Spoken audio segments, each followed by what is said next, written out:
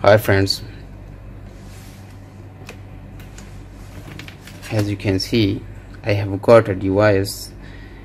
A model RNE L21 it means that it's 10 Lite and today in this video I am going to show you how to unlock FRP in Huawei Mate 10 Lite. So first of all keep press and hold this volume down button and insert USB cable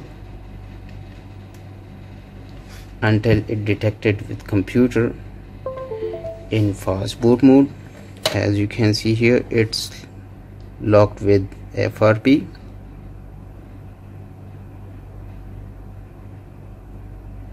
also phone is locked. Now I will try to open it.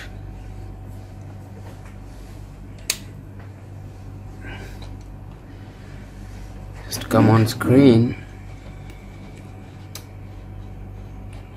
First come to Android model here. Click on Huawei tab.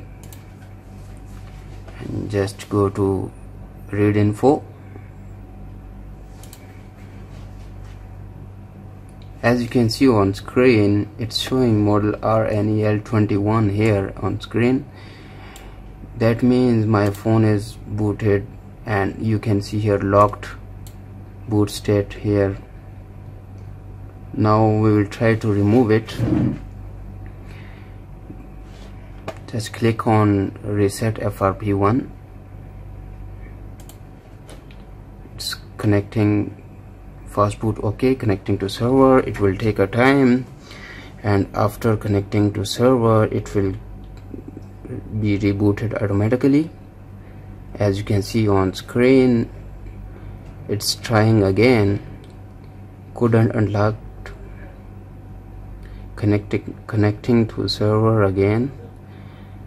We will check auto press on auto press on reset frp2 that means FRP1 is uh, failed. It's trying to unlock by other method automatically. As you can see it has done.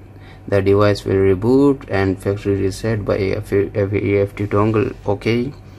As you can see on screen my phone is rebooted now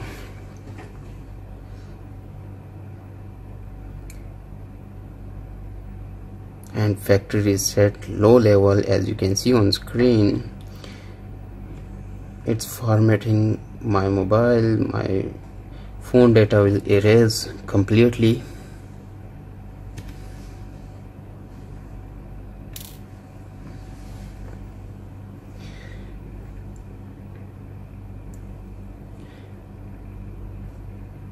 This method erase FRP as well factory reset.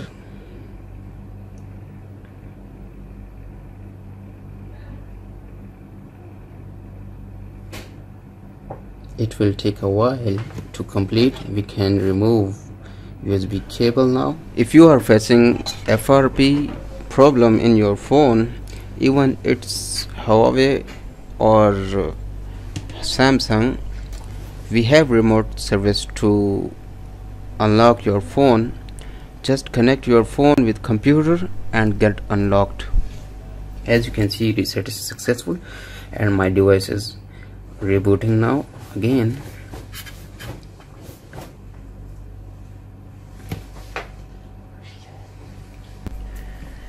If you have found it anything helpful in this video so don't forget to hit like button and please subscribe my channel in order to get notification of my videos so that it can help you.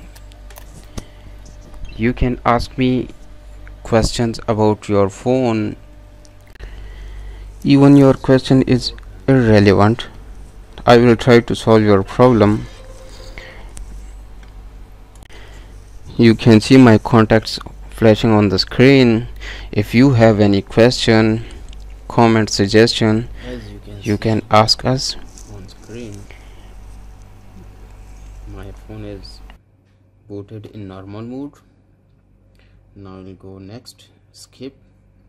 No need sim agree. Terms and condition later. Agree all. No need to connect with Wi-Fi. Skip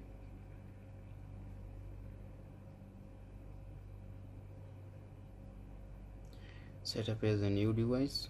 Skip. Not now. Skip.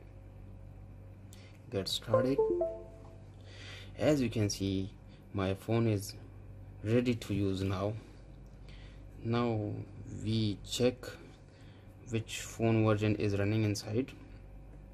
As you can see